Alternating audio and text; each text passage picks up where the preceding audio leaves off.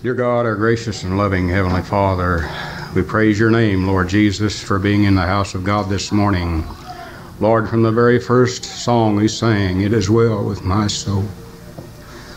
Oh, Heavenly Father, how we can feel your presence in this building this morning. Amen. We know, Lord, that where the presence of the Lord is, there is liberty, there is healing, there is touch. Father, we thank you this morning for your willingness to come together with us this morning, Father, unworthy as we are, Lord. We know, Lord, that we are loved this morning not because we are good, Father, but because you are good. We praise you this morning, Father, for that precious love that reaches all the way down from the throne of God. Thank you this morning, Father, for the healing power of God. Lord, that we know that it is nothing impossible for you, for your word says, Father, is anything too hard for me.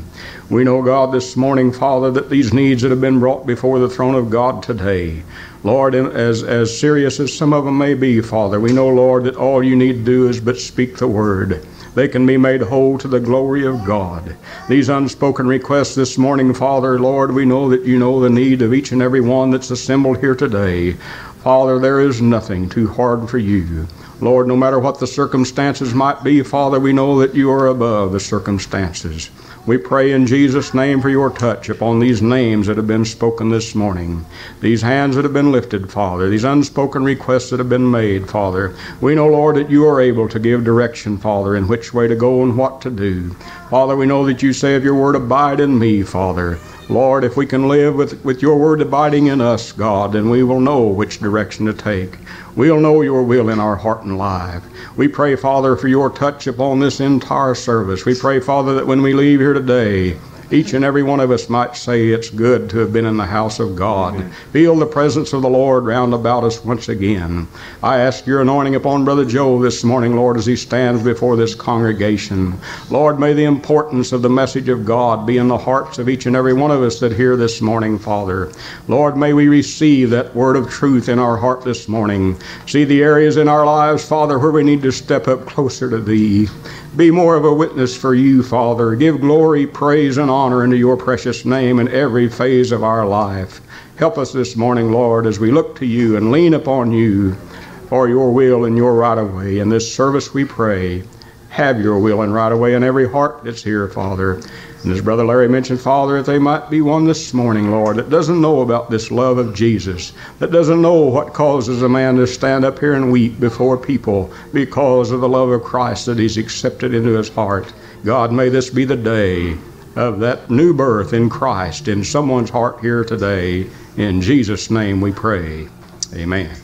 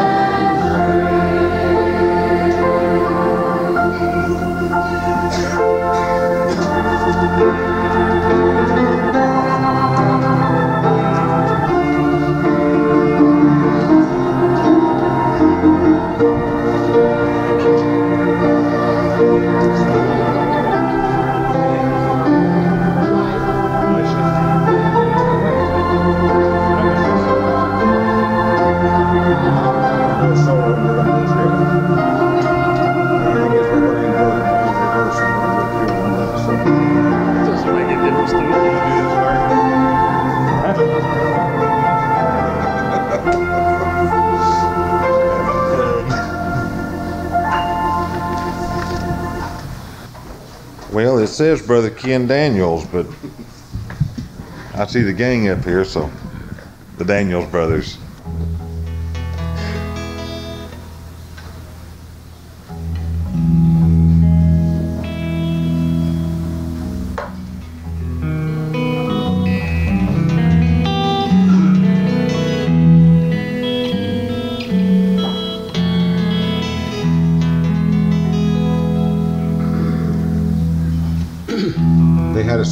Listed for a solo for me and then a, a, a trio song. So I've asked them to do it backwards. So we'll do the trio song first and then the solo, if that's all right with you. I got more to go to heaven for than I had yesterday.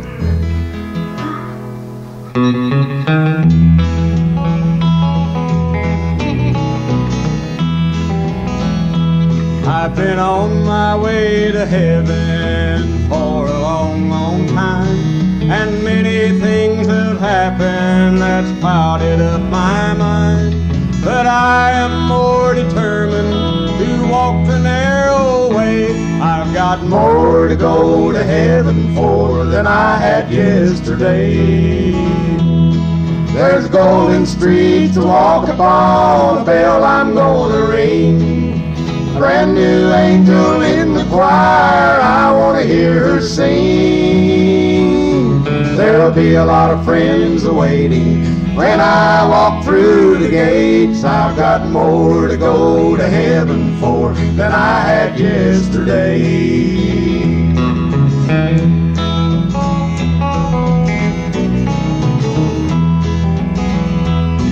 I've been through lonesome valleys, I've climbed the highest hill. I've known the joy of living in the center of God's will.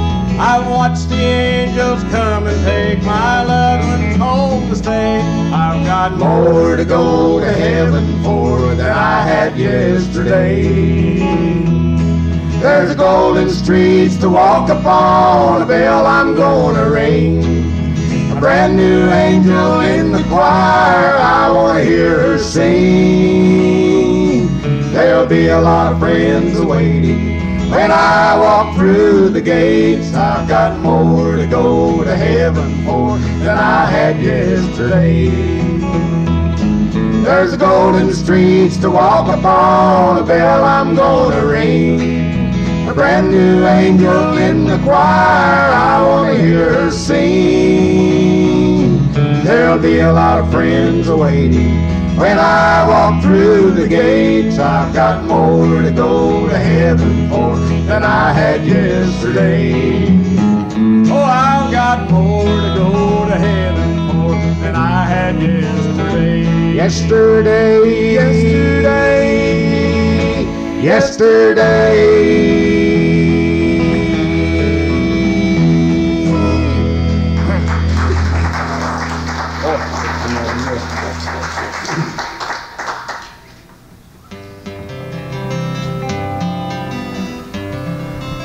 This was a special request, and uh, Brother Joe called me last night and uh, said that a lady asked to hear it and asked me if I could remember it well enough to sing it. And I didn't have the words for it, but I said, I'll try to see if I can because it's been a long time, but it's a good song. And I think the Lord has brought back to my memory the words to the song. So for all of those that, I think this kind of goes along with the song that the ladies sang earlier and uh, kind of in the same vein. One more valley, one more hill.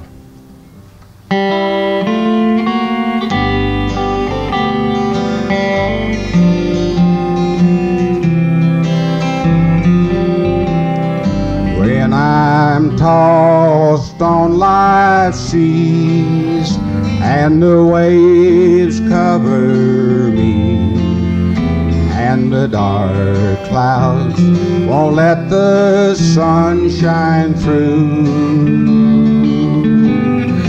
Then a voice seems to say, Child, there'll be a brighter day.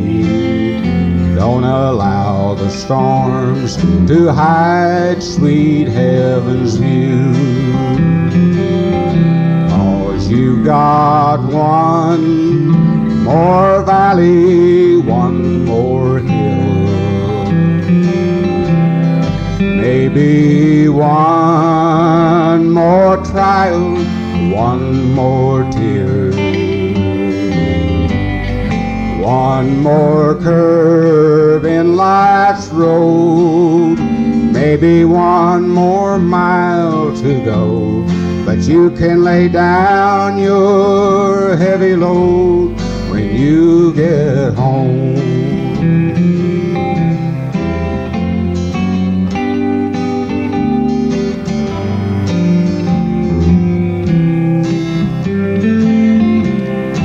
Don't let Satan see your tears.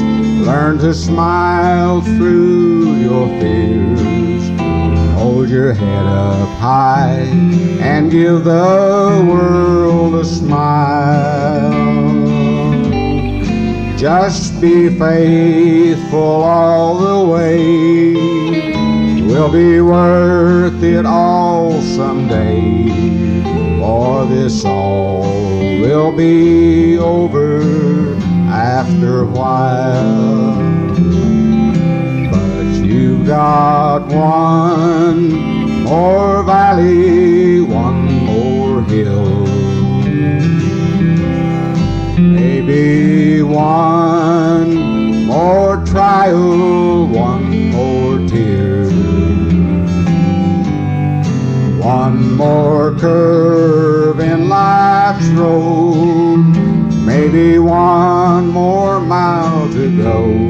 But you can lay down your heavy load when you get home. Yes, you can lay down your heavy load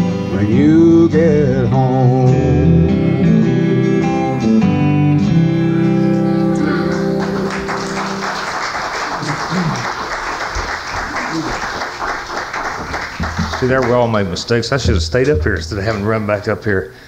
It's a beautiful song, and there are many valleys and hills. But just remember, the Lord is with us no matter how low we get in that valley. The Lord is here with us today. This time, I'd like to, I don't get to do this very often, introduce Brother Joe, our pastor. He's going to bring us a morning message. I just thank the Lord that He sent him to us and his brothers too. Amen. Brother Joe. Guess I need to stand up here and talk a little bit. He wasn't ready.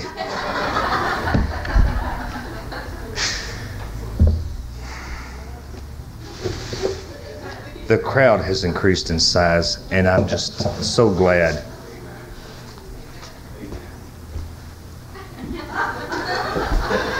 I didn't see anything. We're going to have a great service today. I can tell you right now, Brother Joe.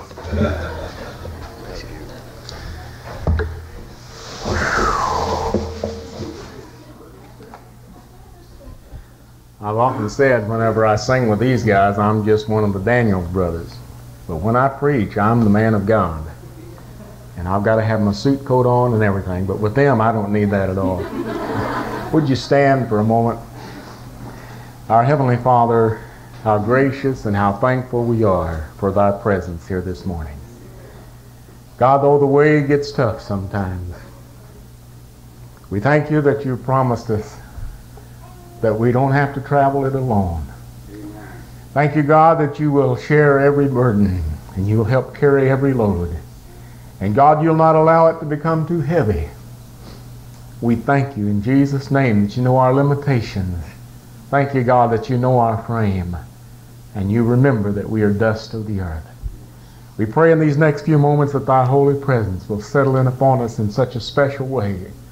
Someone's heart might be touched to the point that where they'll realize your wonderful love to them. And if they're not a Christian, we pray, God, that they'll come and give their heart and life to Jesus. Thank you for every part of this service thus far. And we ask now that you'll have your will and right of way in the preaching and teaching of thy word. For we ask it all in Jesus' name. Amen. Have your Bibles? I want you to turn with me this morning to the book of 2 Kings, chapter 3. 2 Kings, chapter 3. We'll begin reading at verse 5. so good to be in God's house. I've been to the Decatur State Camp meeting for the latter part of this week and had a wonderful time. Brother Billy Glidewell can preach up a storm. I'm not kidding you. And Brother Frank Ramey on Friday morning preached a wonderful message, and we had a good time. And and thank the Lord uh, we got to go, and thank Him also for the privilege to be back home. There's no place like home. I went to the Holy Land back in 1978 and was 13 and a half hours in the air over the ocean. I went to lands I had never been to, seen the scenes I had never saw. One of the most beautiful scenes I ever saw was the city limit sign of Carey Mills when I was coming back home. I had lost seven pounds. I could not eat the food over there. And uh, I was so glad to get back home. And I want to against the king of Israel. And King Jehoram went out of Samaria the same time and numbered all Israel. And he went and sent to Jehoshaphat the king of Judah, saying, The king of Moab hath rebelled against me. Wilt thou go with me against Moab to battle? And he said, I will go up. I am as thou art, my people as thy people, and my horses as thy horses. And he said, Which way shall we go up? And he answered, The way through the wilderness of Edom.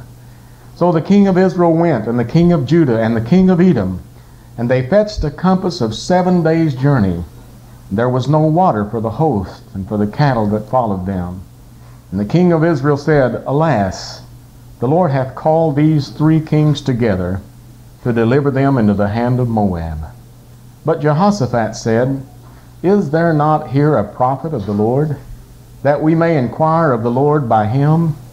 And one of the king of Israel's servants answered and said, Yes, here is Elisha, the son of Shaphat, which poured water on the hands of Elijah. And Jehoshaphat said, The word of the Lord is with him.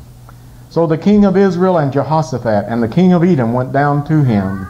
And Elisha said unto the king of Israel, What have I to do with thee? Get thee to the prophets of thy father and to the prophets of thy mother. And the king of Israel said unto him, Nay, for the Lord hath called these three things together to deliver them into the hand of Moab. And Elisha said, As the Lord of hosts liveth, before whom I stand, surely were it not that I regard the presence of Jehoshaphat, the king of Judah, I would not look toward thee nor see thee. But now bring me a minstrel. And it came to pass when the minstrel played that the hand of the Lord came upon him. And he said, Thus saith the Lord, Make this valley full of ditches.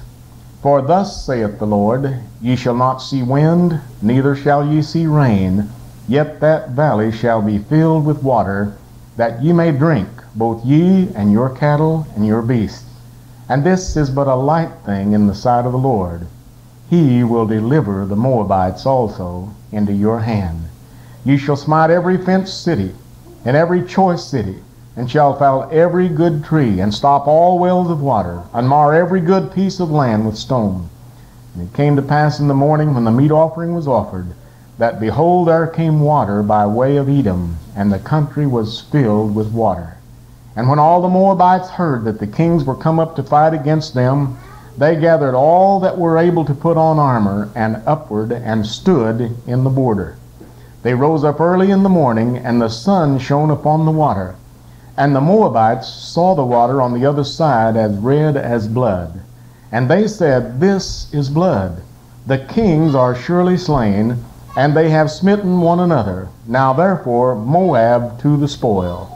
And when they came to the camp of Israel, the Israelites rose up and smote the Moabites so that they fled before them, but they went forward, smiting the Moabites even in their country. Ahab was a wicked king, and he was king of Israel before all of this happened. Mesha was the king of Moab and also a wicked king, and he and Ahab were good friends. But when Ahab died, Jehoram became king of Israel. And Mesha decided to make war upon Israel now. Now, Israel was divided at this time into a northern kingdom and a southern kingdom. The northern kingdom was called Israel, the southern kingdom was called Judah. Jehoram had succeeded Ahab as king of Israel in the north, and Jehoshaphat was the king of Judah in the south. And when Jehoram numbered all of Israel, after he had heard that Mesha, the king of Moab, was going to come against them in war, and when he numbered all the people, he said, We don't have enough soldiers. We cannot defeat the Moabites. And so he sent a messenger to the south to the king of Judah, Jehoshaphat, and said, Will you help us fight against Moab? they're coming against us. And in this little illustration right here, I see a beautiful, beautiful picture of harmony. Now remember, the, the kingdom of Israel was divided into a northern kingdom and a southern kingdom. The northern kingdom needed, kingdom needed help. The Moabite army was coming against them. They sent a messenger to the southern kingdom, the king Jehoshaphat. Will you help us fight? And I want you to notice what Jehoshaphat said. he said, I will go up. I am as thou art, my people as thy people, and my horses as thy horses. What a beautiful picture of harmony and unity among the kingdom of Israel. Even though it was divided in a time of war and a time of need, they came together to unite their strength. And I used to wonder why God's people could not unite and be in harmony as God prayed for us to be. I believe God wills that we be in harmony and one accord more than anything else in the whole world. Because Jesus said, By this shall all men know that you're my disciples. Not if you can preach great sermons, not if you can sing like angels, not if you can pray like Peter, but if you have love one to another. And he's speaking to God's people. And it doesn't take one ounce of understanding or knowledge to know what harmony and accord is. Let me show you what harmony is. Am I on? Yeah, I'm on. Okay. Now listen right here. Listen real carefully. Come in.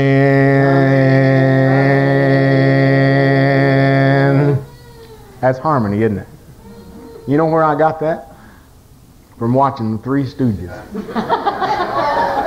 They'd be working in a room or doing something, and uh, somebody knock at the door, and that's what they do. Come just like a doorbell, you know, come in, come. Well, now let me ask you a question. Doesn't it stand to reason that if the Three Stooges, as dumb as they are, could have harmony, why in the world can't we as God's people have harmony? We have 10,000 times more reason to love one another than they do. They're all time jabbing each other and hitting each other. We have a million more times and more reasons to be thankful and to love God and to live in harmony and love one to another than anybody else on the face of this earth. Then why don't we? I'll tell you why. Jesus said, Upon this rock I'll build my church, and the gates of hell shall not prevail against it. Now, speaking about the church, his people, and every person who's ever been born again of the Spirit of God is in God's church. That's the church. When you got saved, God added you to his church. Your name was recorded in the Lamb's Book of Life. You became a child of God, a member of his family, the church of the living God. Now, Jesus said, This is the church I'm building. And he said, The gates of hell cannot prevail against it.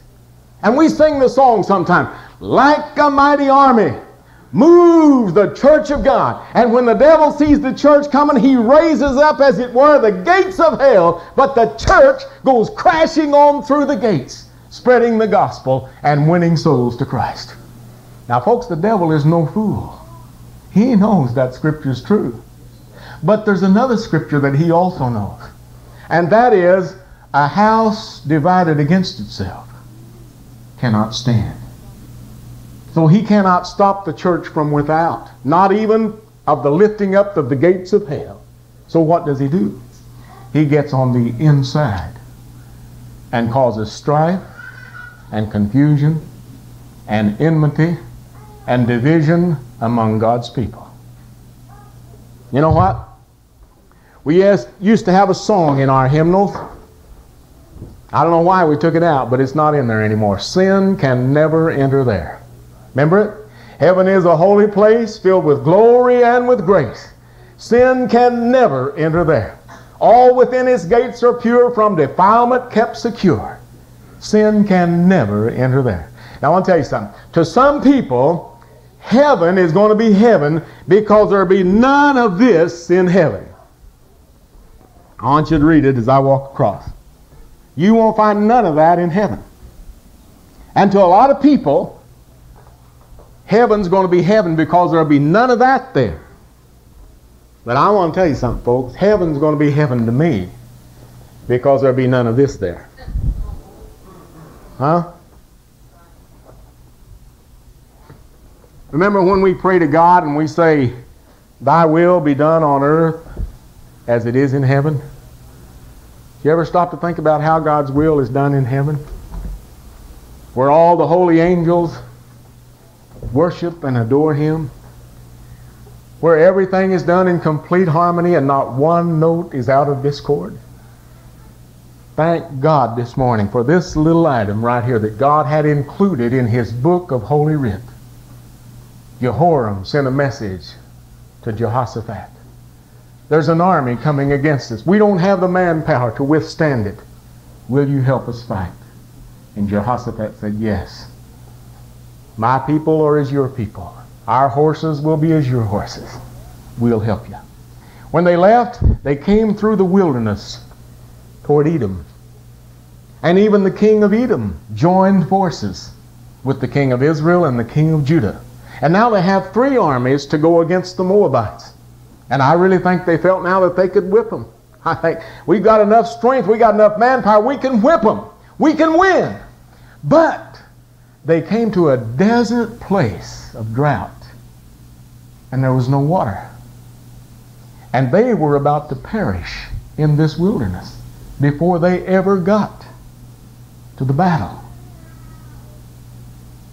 And the king of Israel said, This is unreal. God has just brought us out here for naught. We're going to be easy prey for the Moabites. In fact, we're not even going to survive this wilderness. We're going to die out here. But Jehoshaphat says, Wait a minute. Isn't there a man of God somewhere around here? Isn't there a prophet of God? Boy, I tell you, I, I love to read about people that's in touch with Him, don't you?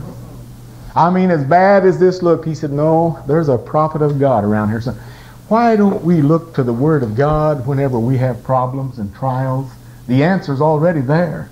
If we just look and take the time to listen, God is speaking to our hearts. And God says, Call upon me. I'll show you great and mighty things which thou knowest not. And one of the servants of the king of Israel said, Yes, there is. His name's Elisha. He's the one that poured water on the hands of Elijah. And Jehoshaphat said, Yes, the Lord's with him. Let's find him. And let's ask his help. And when they came to him at first, he said, What have I to do with you? Why don't you go see the prophets of your own fathers and your own mothers? And they said, No, we've come to see you. We need your help. We're going to die in this wilderness unless God helps us. And I want you to notice what he said.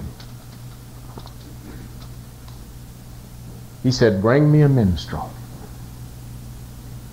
Bring me a minstrel. I had read right past this all of my life until this morning. Downstairs before church. I was refreshing my mind. I was reading again this lesson. And he said, Bring me a minstrel. Elisha. And the Bible says, It came to pass when the minstrel played that the hand of the Lord came upon Elisha. I thought of all the times I've listened to special singing and special music. Maybe in the valley, maybe going through a tough trial. And all of a sudden, while listening to that beautiful music and beautiful singing, the presence of God would come and assure my heart, son, I'm still with you, and you're going to make it through. And that's why we need to pray for our singers and our musicians. They minister to us like the minstrel did to the prophet of God in days of old. And this beautiful song the ladies sang this morning. There's people here this morning that need a miracle. And thank God for ladies who are concerned to learn a song that says there's a miracle for you. There's a God who loves you and he will hear and answer your prayers. And the answer's already on the way. And sometimes when that happens, we sense and feel the presence of God. I thank God that I saw that just this morning. Thank God that He has so many ways to get through to us that I've not forsaken you. I've not left you alone. Now, the story goes that God heard the prayer of Elijah, Elisha. He gave the instructions as to what to do. They won the battle. They were victorious. All three armies defeated Moab, Moab and they, they even conquered their cities. They took the choice land. And God prospered all three of these kingdoms. Now, why did He do it? Was it because they repented of their wickedness and turned from their wicked ways? No. Was it because they had revival? I didn't read anything about revival there. Was it because they fasted? No. Don't find any record of that. I want to read to you why God gave them the victory. Now listen carefully. Elisha said to these three kings, As the Lord of hosts liveth, before whom I stand, were it not that I regard the presence of Jehoshaphat, the king of Judah, I would not look toward thee nor see thee. One man. One man helped bring about the victory for three armies. His name was Jehoshaphat.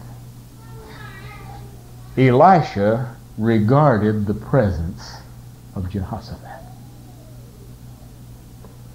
Have you ever been in the presence of someone whom you regarded highly?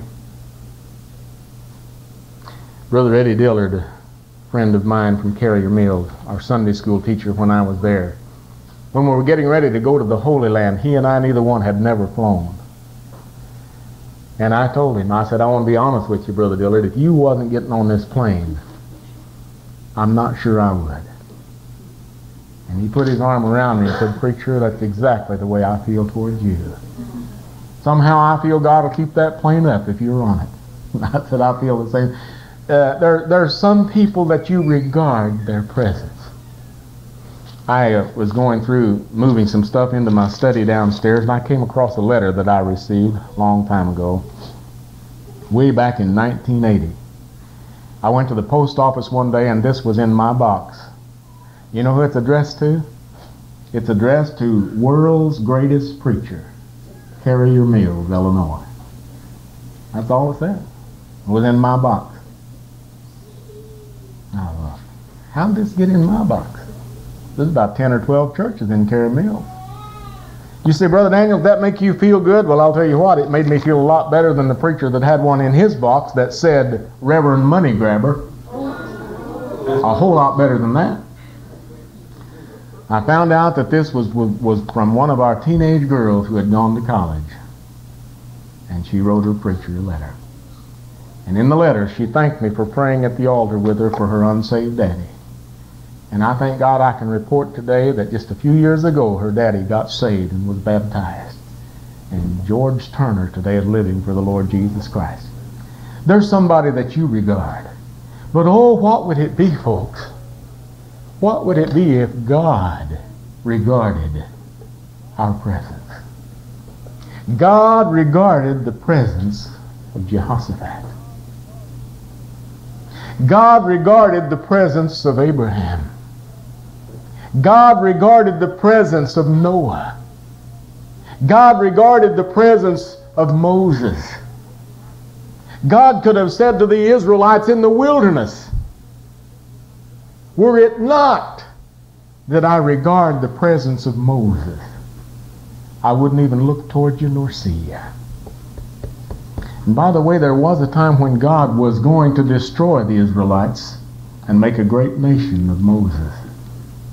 But Moses interceded for them and wouldn't allow it, wouldn't let God do it. God said, I'll blot their names out of my books. And Moses said, God, if you blot their names out, blot mine out too. God wouldn't do it because he regarded the presence of Moses. God could have said of Sodom and Gomorrah, whom he was going to destroy, if I didn't regard the presence of Abraham, I wouldn't even look toward you. I wouldn't even see you. I wouldn't even consider sparing you. I'd just send the fire and brimstone just like that. In Noah's day, God regarded the presence of Noah.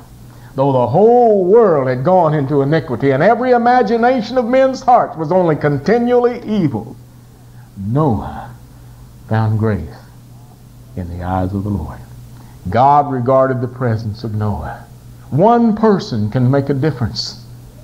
Jehoshaphat made that difference. In the salvation and the victory of three armies that were about to perish,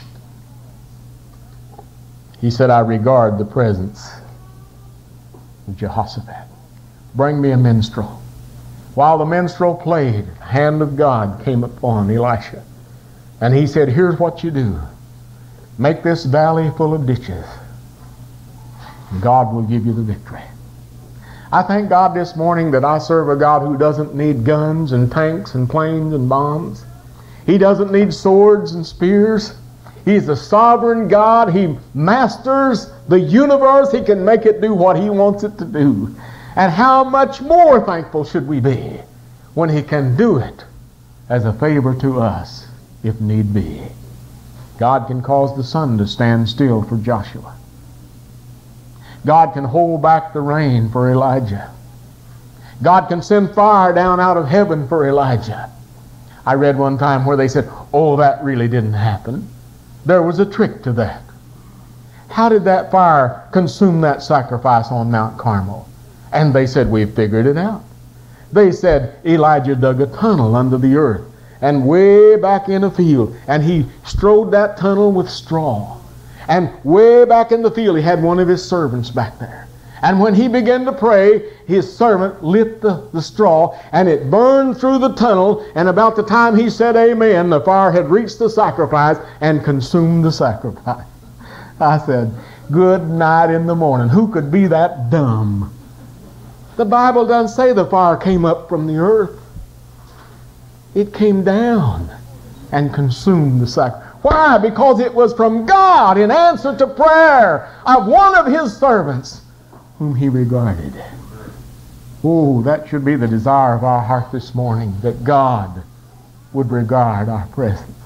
Draw nigh unto me, says God, and I'll draw nigh unto you. God wants to fellowship with us. God wants to love us. God wants to help us. God wants to answer our prayers. God wants to strengthen us. But sometimes he has such a hard time doing it because we're so far from him. And our presence is not very much regarded. Oh, I praise God this morning for men of God and women of God who could take hold of the horns of the altar and shake heaven and move God upon his throne because he regarded their presence. Last night, or Friday night, there was a huge altar service at the camp meeting, and Brother Glidewell asked for all of the pioneer ministers, old Brother Ramsey and old Brother Miller, and all of the old timers, would you come? And would you lay your hands on the shoulders of these that are praying? Just stand by them. And friend, I'll tell you, there was something about the hands that were on my shoulder that caused me to regard the presence of that person who had preached the gospel down through the years and who had walked with God and talked with God. And there they were now praying for me and for so many others who had come. How precious a thing is it that God would regard the presence of someone here on earth. But he does. And every one of us is within reach of that honor this morning. Every one of us. Oh, yes, we are. And I praise God for it. I want you to notice how that they won this battle. God said, You're not going to see any wind, you're not going to see any rain, but if you'll just dig the ditches, the ditches will be filled with water. And I have given you the victory. you know, God's instructions sometimes are so foreign to us, so unlike us, but the Bible says His ways are not our ways, and His thoughts are not our thoughts. And here they take the shovels and they dig the ditches. And early the next morning, all of those ditches were filled with water. Here comes the Moabites. Tremendous army. They look in the distance, the sun is just coming up.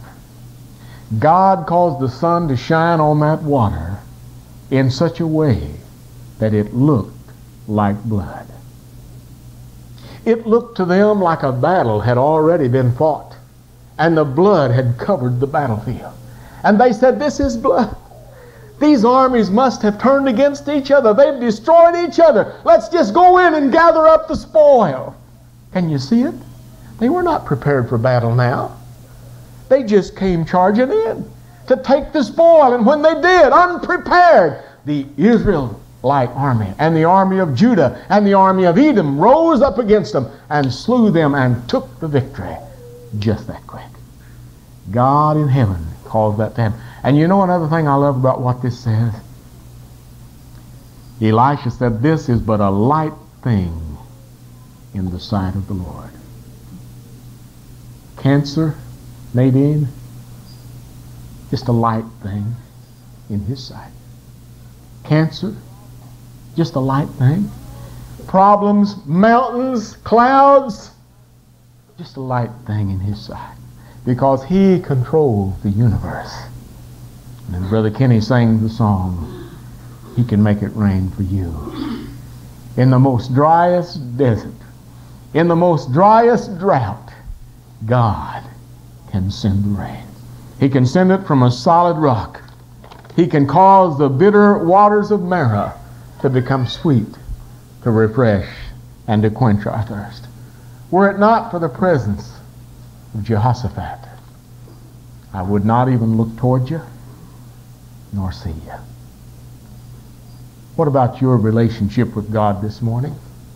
Do you ever stop to think about how much God has given us and how much we give Him? God says, Give, and it shall be given you. Lord, how much should I give? God said, Just one tenth. Just a dime out of every dollar. You can keep the 90 cents for yourself. $100, just 10 you keep the 90 for you. That's all I ask. God, what will you give in return? And God says, good measure, pressed down, shaken together, and running over, shall men give into your bosom. You ever feel sorry for God? I do sometimes.